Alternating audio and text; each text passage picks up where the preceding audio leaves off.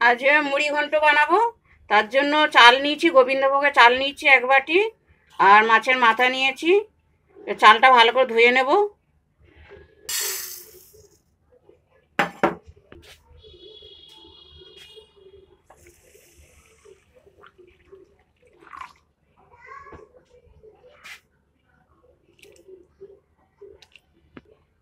দেখুন, চালটা ভালো করে এরকম ওগরে ধুয়ে নেবে। চাল থেকে কেমন সাদা সাদা ও বেরোচ্ছে পাউডার এবং দু তিনবার ধুয়ে নেব। চালটা দু তিনবার ধুয়ে জল ঝরিয়ে নিয়েছি। কড়াতে তেল দিলাম। তেল গরম হয়ে গেছে। গোটা গরম মশলা দেব।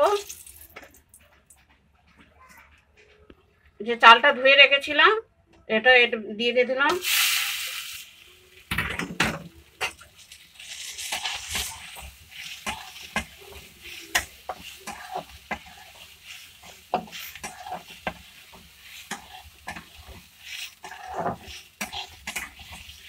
চালটা একটু ভেজে নেব।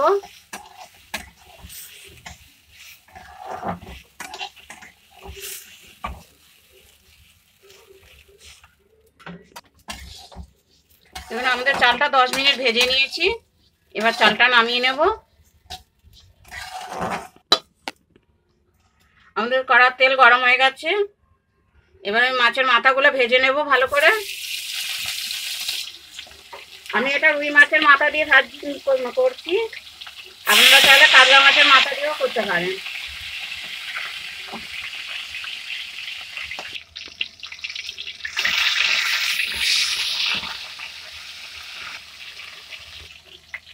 আমাদের মাছের মাথাগুলো ভাজা হয়ে গেছে। এরকমভাবে কড়া করে ভেজে নেবেন।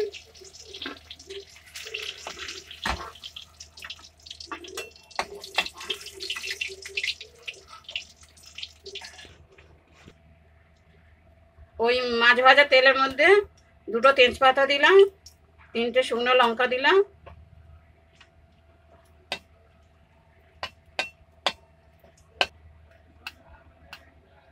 ওই তেলের মধ্যে আদা, রসুন বাটা দিলাম এক চামচ। একটা টমেটো দিলাম।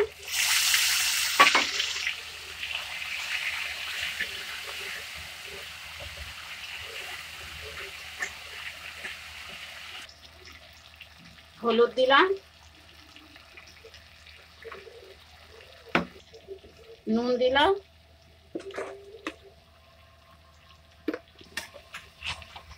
একটুখানি জল দিলাম যাতে মশলাটা পুড়ে না যায়।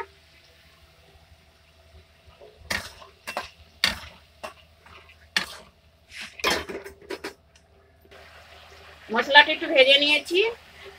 এরপরে মাথাগুলো দিয়ে দেবো ওর মধ্যে।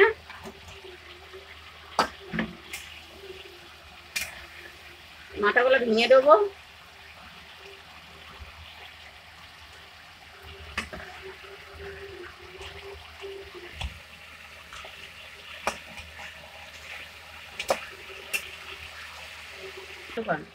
যে চালটা ভেজে রেখেছিলাম, এটাও দিয়ে দিলাম। এবার সবগুলো ভালো করে কষে নেব, দশ মিনিট ধরে।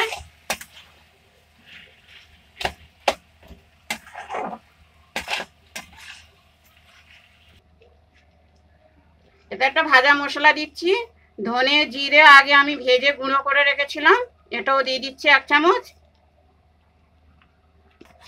এটা আপনারা ভালো করে কষে নেবেন, যখন কষবেন তখন যেন লেগে না যায়, কারণ চাল আছে, পুড়ে যাবে, সেই জন্য বারবার নাড়তে থাকবেন।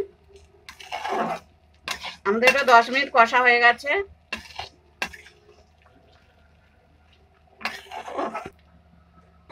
এতে জল দিয়ে দিচ্ছি। যে কাপে বা বাটিতে আপনারা চাল নেবেন মেপে, ওই মাপেই জল দেবেন, ওই বাটিতেই আড়াই কাপ জল দেবেন। আমি কাপে নিয়েছিলাম, সেজন্য কাপের মাপে দিচ্ছি জল। আপনারা বাটিতে চাল নিলে বাটির মাপেই দেবেন।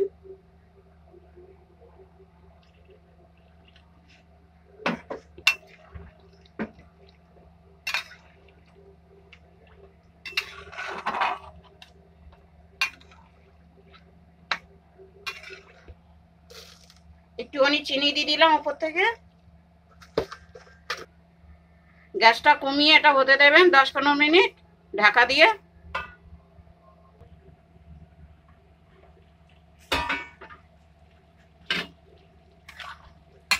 এটা মাঝে মাঝে খুলে এরকম নেড়ে দেবেন, নাহলে তোলায় লেগে যেতে পারে।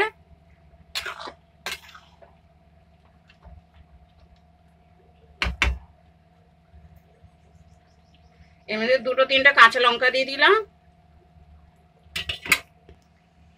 আমাদের মুড়ি ঘন্ট রেডি এবার ওপর থেকে একটু ঘি দিয়ে দেবো।